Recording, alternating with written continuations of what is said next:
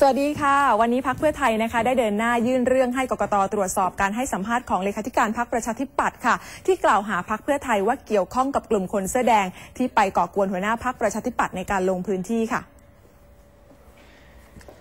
พักเพื่อไทยเห็นว่าการให้สัมภาษณ์ของนายสุเทพเทือกสุบรรณอาจจะเข้าข่ายผิดกฎหมายเลือกตั้ง แล้วก็ขัดต่อรัฐธรรมนูญ โดยเนื้อหาเป็นการใส่ร้ายจูงใจให้เข้าใจผิดในคะแนนนิยม มีโทษจำคุก 10 ปี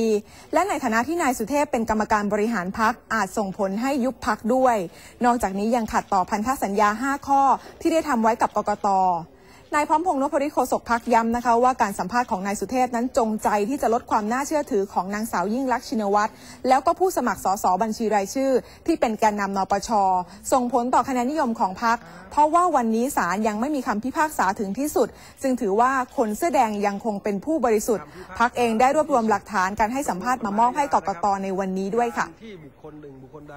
ถูกข้อกล่าวหาเนี่ย การตัดสินโดยสารสถิตยุติธรรมถือว่าอันมีคำพิพากษาถึงที่สุดเนี่ยถือว่าบุคคลนั้นเนี่ยถ้ายังไม่ไม่ไม่ไม่มีคำพิพากษาถึงที่สุดเนี่ยถือว่ายังเป็นผู้บริสุทธิ์อยู่